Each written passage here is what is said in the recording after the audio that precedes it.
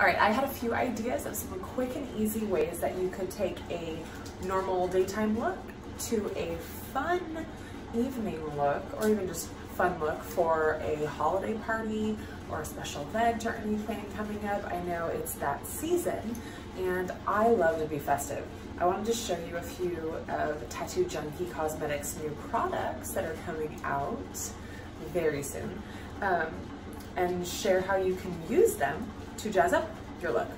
Um, first, I wanted to share with you all the new colors of the Glitter Lava Glosses. They are incredible. I can't wait to swatch them for you guys and show you what they look like. Let's take a look at that.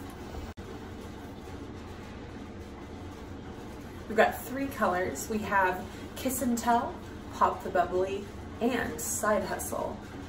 So I'm gonna do a simple, let's say, holiday party inspired look. Let's say you get home from work and you're like, oh no, I have this event tonight.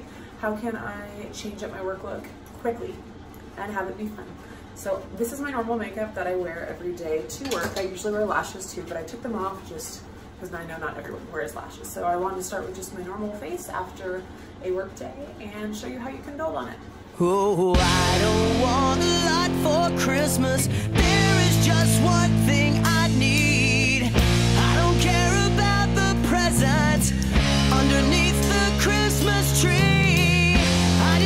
you for my own, more than you could ever know. Make my wish come.